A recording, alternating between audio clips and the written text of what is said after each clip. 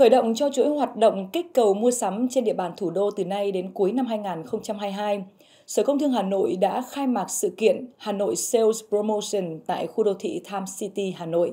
Đây là một trong các hoạt động hưởng ứng tháng khuyến mại tập trung quốc gia do Bộ Công Thương phát động.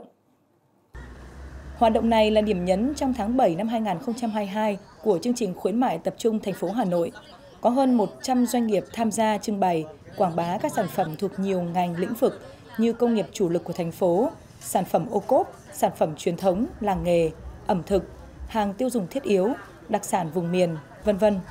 Tại sự kiện này, tất cả doanh nghiệp tham gia đã triển khai các chương trình giảm giá ưu đãi từ 30 đến 100%, cùng nhiều hình thức khuyến mại được niêm yết công khai tại các gian hàng, tạo nên ngày hội mua sắm sôi động cho người tiêu dùng với nhiều thương hiệu uy tín. Theo Sở Công Thương Hà Nội, trong khuôn khổ chương trình khuyến mại tập trung thành phố Hà Nội năm 2022, Sở sẽ tiếp tục tổ chức nhiều sự kiện, hội trợ triển lãm nhằm kích cầu tiêu dùng nội địa, đẩy mạnh tiêu thụ hàng hóa, cùng doanh nghiệp nỗ lực tái phục hồi sản xuất kinh doanh sau đại dịch COVID-19.